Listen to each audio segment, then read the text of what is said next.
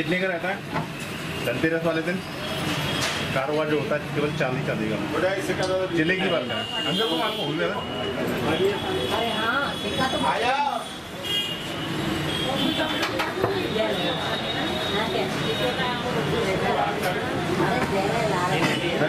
पिछली बार कितना रहा था? कुछ जानते नहीं?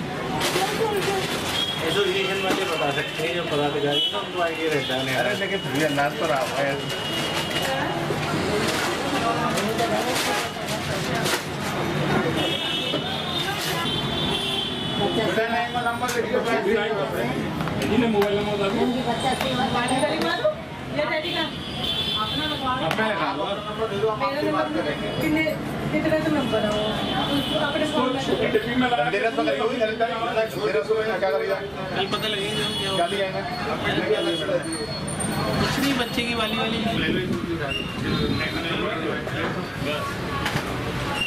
इधर मत वो उधर ही हो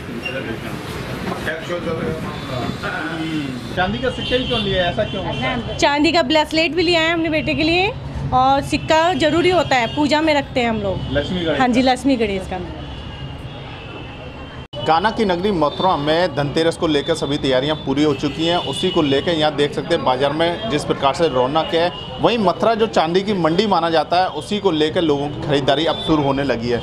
बता दें कि मथुरा में जो चांदी का जो कारोबार है, कहीं ना कहीं हर साल जो धीरे धीरे बढ़ने लगा है। उसी को लेकर लोगों की हर बार डिमांड रहती है कि लक्ष्मी गणेश चांदी के होने चाहिए।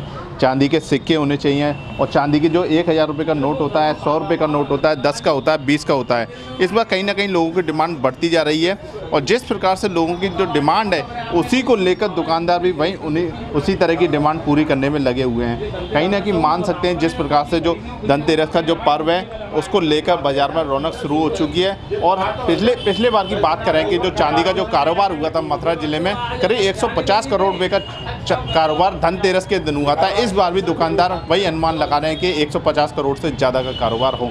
प्रवीण कुमार शर्मा ईटीवी भारत, मथुरा।